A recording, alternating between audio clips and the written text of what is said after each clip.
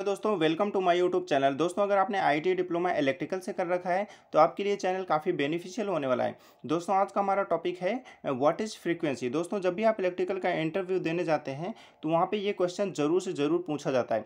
दोस्तों फ्रिक्वेंसी क्या होती है? इसका मात्रा क्या होता है? इसको डिनोट किससे करते हैं? एंड दोस्तों, भारत में फिफ्टी हर्ज फ्रिक्वेंसी क्यों है? तो दोस्तों, क्या होता है कि जब भी आप देखेंगे, जैसे कि हमारी एसी सप्लाई है, आप यहाँ पर देख पा रहे हैं कि एसी का सिंबल है एक प्रकार से। एसी की वेब फॉर्म क्या होती है साइनोशेडोल होती है। तो ये क्या है हमारा एसी की वेब फॉर्म यहाँ पर डिनोट की गई है। दोस्तों, जो एसी की वेव फॉर्म है, वो यहाँ से स्टार्ट होकर और यहाँ तक ये क्या करती है? एक साइकिल कंप्लीट कर देती है। तो दोस्तों, हम इसी को हम क्या बोलते हैं? फ्रीक्वेंसी बोलते हैं। यानी ये यहाँ से, इस पॉइंट से यहाँ तक एक साइकिल कंप्लीट हुआ।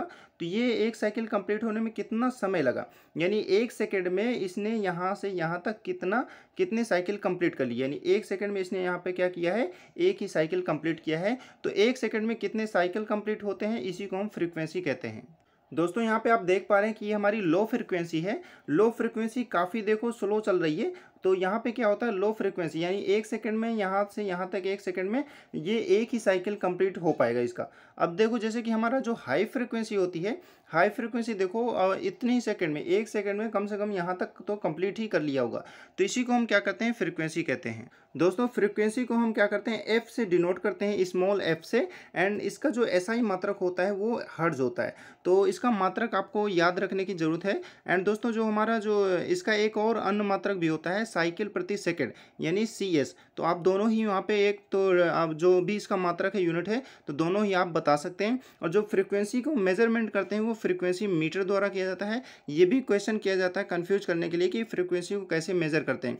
तो फ्रिक्वेंसी मीटर द्वारा किया जाता है। और भारत में सप्लाई फ्रिक्वेंसी का जो मान होता है, वो फिफ्टी हर्ज निर्धारित किया गया है। यानी एक सेकेंड में क्या करते हैं, ये पचास बार तुरंत इतनी जल्दी इसकी मतलब वेव फॉर्म होती है। कि एक सेकंड में ये पचास बार ऐसे ऐसे हो जाती है। इसका साइकिल कंप्लीट हो जाता है। एंड दोस्तों, फिफ्टी हर्ज क्यों हमारे भारत में है और सिक्सटी हर्ज क्यों नहीं है? जैसे कि आप अमेरिका में जाएँगे, वहाँ पर क्या होता है? सिक्सटी हर्ज वहाँ पर सप्लाई फ्रिक्वेंसी निर्धारित की गई है। तो दोस्तों, इसका मतलब क्या हुआ? तो भारत में क्या है कि हमारा जो इक्विपमेंट है वो सारे क्या है फिफ्टी हर्ज सप्लाई पर ही बनाए गए हैं। तो अगर हम सिक्सटी हर्ज देंगे तो वो क्या है हमारे इक्विपमेंट चलेंगे नहीं।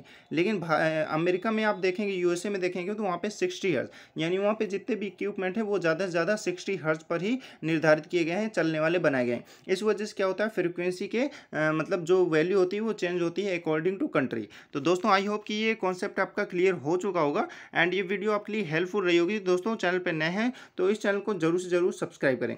तो thank you friend for watching this video मिलते हैं नेक्स्ट वीडियो पर।